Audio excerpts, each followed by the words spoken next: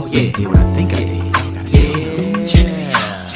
Last night I got so drunk and high, I think I blacked out. Woke up in the bed with three back chicks with they ass out.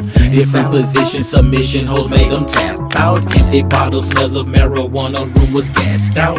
Two percent grabbed the charger and I plugged it in. 32 missed calls notified they was tapping in. Text said you probably laid up with some bitch and a friend. Gotta think of a good lie, but where do I begin? Hit the club, a fight broke out, we put that work in. Then after hit the studio with a few of my friends. A lot of smoking, lot of drinking and rapping. Recorded a couple tracks, them hoes were going in. Hopefully it's believable, the story sound true.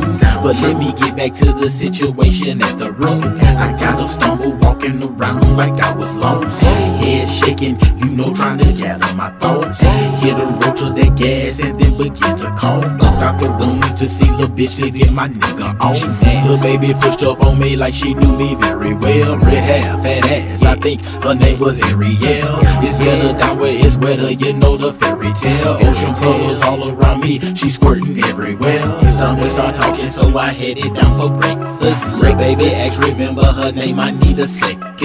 Told me don't sweat, I was in her and well invested. I guess I did my thing the way her wig needed adjusted. Ass clapping, killing pussy like Carole Baskin. Yeah, smoking, drinking, Joe Jackson, drug up. Yeah, yeah, hotel views, ocean views, it's trippy dude. Yeah, on the balcony, golden wrappers, condom. Yeah, yeah, drunken nights usually ends with drunken stories. But don't worry, I'm only telling half the story. Back at the room, she said, Daddy, come lay back down. X, are you ready for round two? I beat that pussy down.